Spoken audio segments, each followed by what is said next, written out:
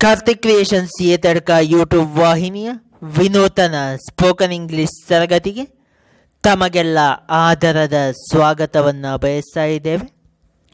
ಇದರಲ್ಲಿ ಧ್ವನಿ ಸಹಕಾರವನ್ನು ನೀಡಿದವರು ಗಣರಾಜ್ ಕೆ ಏತಡ್ಕ ತಾಂತ್ರಿಕ ಸಹಾಯ ಹಾಗೂ ಸಂಕಲನ Karthik Kumar K Ethadka spoken English ತರಬೇತಿಯ ಮುಂದಿನ ಸಂಚಿಕೆಗಾಗಿ ಈ ಕೂಡಲೇ ಚಾನಲನ್ನು ಸಬ್ಸ್ಕ್ರೈಬ್ ಮಾಡಿ ಹಾಗೆ ಪಕ್ಕದಲ್ಲಿ ಕಾಣುವ ಬೆಲ್ ಐಕನ್ ಒತ್ತಿರಿ. ಹಾಗೂ ಇತರರಿಗೆ ಶೇರ್ ಮಾಡಿ.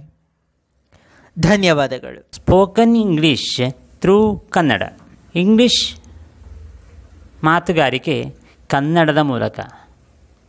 ಪ್ರಿಯ ವೀಕ್ಷಕರೇ, ಇಂದಿನಿಂದ ನಾವು ಹಂತ ಹಂತವಾಗಿ ಇಂಗ್ಲೀಷ್ ಸಂಭಾಷಣೆಯ ಪಾಠಗಳನ್ನು ಕಲಿಯೋಣ.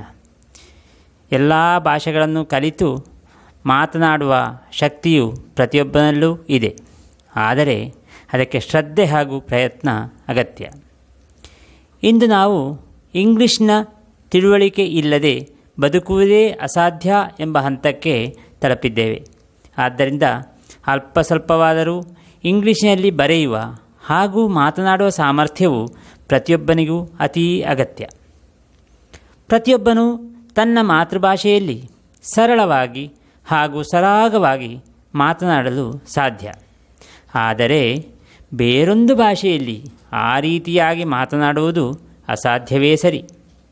ಅದಕ್ಕೆ ಆ ಭಾಷೆಯ ಕುರಿತಾದ ಸ್ವಲ್ಪ ಅರಿವು ಹಾಗೂ ಪ್ರಯತ್ನ ಅಗತ್ಯ. ಯಾವುದೇ ಭಾಷೆಯನ್ನು ಮಾತನಾಡುವಾಗ ಅದು ವ್ಯಾಕರಣಬದ್ಧವಾಗಿರಬೇಕೆಂದೇನೂ ಇಲ್ಲ. ಎಲ್ಲ ಭಾಷೆಗಳಲ್ಲೂ ಬರೆಯುವುದಕ್ಕೂ ಮಾತನಾಡುವುದಕ್ಕೂ ಬಹಳಷ್ಟು ವ್ಯತ್ಯಾಸವಿದೆ. ಅಂತೆಯೇ ಇಂಗ್ಲೀಷ್ನಲ್ಲಿ ಕೂಡ. ಬರೆಯುವ ಇಂಗ್ಲೀಷನ್ನು ರಿಟರ್ನ್ ಇಂಗ್ಲೀಷ್ ಎಂದು, ಮಾತನಾಡುವ ಇಂಗ್ಲೀಷನ್ನು ಸ್ಪೋಕನ್ ಇಂಗ್ಲೀಷ್ ಎಂದು ಕರೆಯುತ್ತಾರೆ. ಒಬ್ಬ ಇಂಗ್ಲೀಷರ ಮನೆಯಲ್ಲಿ ಕೆಲಸ ಮಾಡುವ ಆಳು ಚೆನ್ನಾಗಿ ಇಂಗ್ಲೀಷ್ನಲ್ಲಿ ಮಾತನಾಡಬಲ್ಲನು. ಅಂದರೆ ಅವನಿಗೆ ಸ್ಪೋಕನ್ ಇಂಗ್ಲೀಷ್ ತಿಳಿದಿರುತ್ತದೆ ಆದರೆ ಅವನಿಗೆ ಇಂಗ್ಲೀಷ್ನಲ್ಲಿ ಬರೆಯಲಾಗುವುದಿಲ್ಲ, ಏಕೆಂದರೆ ಅವನು ಇಂಗ್ಲೀಷ್ ಬರಹ ಕಲಿತಿರುವುದಿಲ್ಲ. ಆದರೆ ನಮ್ಮಲ್ಲಿ ಹಲವರು ಇಂಗ್ಲೀಷಿನಲ್ಲಿ ಬರೆಯಲು ತಿಳಿದಿದ್ದರೂ ಮಾತನಾಡಲಾರರು, ಏಕೆಂದರೆ ಅವರು ಮಾತನಾಡುವುದು ಕನ್ನಡ ಮಾತ್ರ. ಆದ್ದರಿಂದ ಇಂಗ್ಲೀಷ್ ಸಂಭಾಷಣೆ ಕಲಿಯುವವರು ಇಂಗ್ಲೀಷ್ ಬರವಣಿಗೆಯನ್ನು ಕಲಿಯುವುದು ಅತೀ ಅಗತ್ಯ. ಇಂಗ್ಲೀಷ್ ಬರವಣಿಗೆ ರಿಟರ್ನ್ ಇಂಗ್ಲೀಷ್ ತಿಳಿದವನಿಗೆ ಸುಲಭದಲ್ಲಿ ಮಾತನಾಡುವ ಇಂಗ್ಲೀಷನ್ನು ಅಥವಾ ಸ್ಪೋಕನ್ ಇಂಗ್ಲೀಷನ್ನು ಕಲಿಯಬಹುದು. ಕನ್ನಡದಲ್ಲಿ ಯಾವ ರೀತಿಯಲ್ಲಿ ಅಕ್ಷರಗಳಿವೆಯೋ ಇಂಗ್ಲೀಷಿನಲ್ಲೂ ಅದೇ ರೀತಿಯಲ್ಲಿ ಅಕ್ಷರಗಳಿವೆ. ಎಲ್ಲ ಭಾಷೆಗಳಲ್ಲೂ ಕೆಲವು ಅಕ್ಷರಗಳನ್ನು ಸೇರಿಸಿ ಒಂದು ಪದವನ್ನು ರಚಿಸುತ್ತಾರೆ. ಇಂಗ್ಲೀಷಿನಲ್ಲಿ ಅದನ್ನು ವರ್ಡ್ ಎನ್ನುತ್ತಾರೆ. ಹಲವು ಪದಗಳನ್ನು ಸೇರಿಸಿ ಒಂದು ವಾಕ್ಯವನ್ನು ಮಾಡುತ್ತಾರೆ. ಇದನ್ನು ಸೆಂಟೆನ್ಸ್ ಎನ್ನುತ್ತಾರೆ.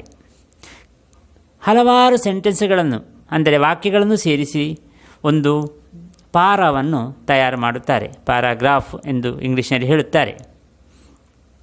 ಈ ರೀತಿಯಲ್ಲಿ ಅಕ್ಷರಗಳ ಜೋಡಣೆಯನ್ನು ಮಾಡುತ್ತಾ ಇಂಗ್ಲೀಷನ್ನು ಬರೆಯಲಾಗುತ್ತದೆ. ಕನ್ನಡದಲ್ಲಿ ಅಕ್ಷರಗಳನ್ನು ವರ್ಣಮಾಲೆಗಳು ಎಂದು ಹೇಳಿದರೆ ಇಂಗ್ಲೀಷಿನಲ್ಲಿ ಅಕ್ಷರಗಳನ್ನು ಆಲ್ಫಾಬೆಟ್ ಎನ್ನುತ್ತಾರೆ. ಇಂಗ್ಲೀಷಿನಲ್ಲಿ ಒಟ್ಟು ಇಪ್ಪತ್ತಾರು ಅಕ್ಷರಗಳಿವೆ. ಅವುಗಳನ್ನು ದೊಡ್ಡ ಅಕ್ಷರಗಳು ಅಥವಾ ಕ್ಯಾಪಿಟಲ್ ಲೆಟರ್ಸ್ ಮತ್ತು ಸಣ್ಣ ಅಕ್ಷರಗಳು ಅಥವಾ ಸ್ಮಾಲ್ ಲೆಟರ್ಸ್ ಎಂದು ಎರಡು ವಿಧಗಳಲ್ಲಿ ಬರೆಯುತ್ತಾರೆ. ಇಲ್ಲಿಗೆ ನಮ್ಮ ಸ್ಪೋಕನ್ ಇಂಗ್ಲೀಷಿನ ಇಂದಿನ ಸಂಚಿಕೆಯನ್ನು ಮುಗಿಸೋಣ. ಮುಂದಿನ ಸಂಚಿಕೆಯಲ್ಲಿ ಇನ್ನಷ್ಟು ಹೆಚ್ಚಿನ ವಿಷಯಗಳೊಂದಿಗೆ ನಾನು ಗಣರಾಜ ಎದುರ್ಕ ನಿಮ್ಮ ಜೊತೆಯಾಗ್ತೀನಿ. ಧನ್ಯವಾದಗಳು.